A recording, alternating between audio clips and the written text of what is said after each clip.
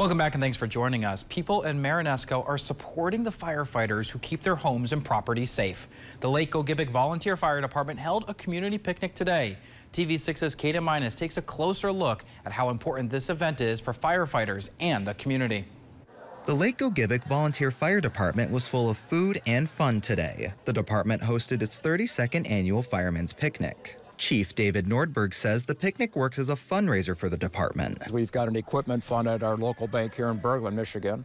And uh, we put our extra money in there from bank from uh, fundraisers and so forth, and we're able to uh, purchase some of actually some of the things you see behind me. We just bought this tanker directly behind me in the middle of this last year, and uh, the neat part is we didn't have to go to the township and ask them to have a special meeting to get money for that. Nordberg says last year's picnic raised around $11,000. The money is raised through $15 dinner tickets, silent auctions, raffles, and extra donations from the public. It's easy to say that we probably get an additional, you know, probably a quarter of what we raise today just by businesses and people that come by and drop us some donations during the day. Nordberg says it's also a time to connect with the community. So I think if we ever quit doing this, we'd probably be in trouble just because so many people look forward to it. So it gives you a lot of pleasure, not that you're out here trying to get, you know, get a dollar out of somebody, but you're actually giving somebody a great day to come out here and enjoy dinner. Nordberg says he appreciates the financial support. He also says another way to help would be to join the department. We still want to provide service for people, so that's probably one of the biggest things that we got to get out to people is uh, we need help.